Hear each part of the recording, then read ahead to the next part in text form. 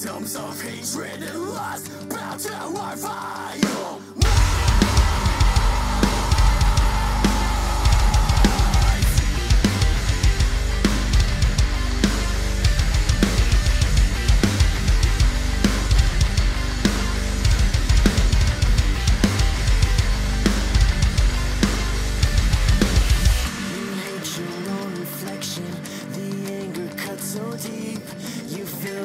mind with fantasies about me as you sleep. Self-loathing is a disease. It tears apart the mind. and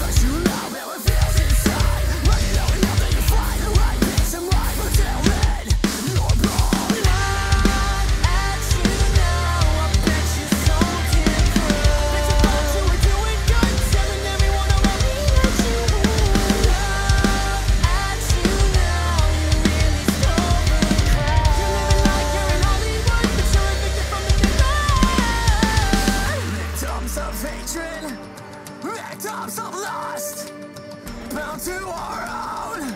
I am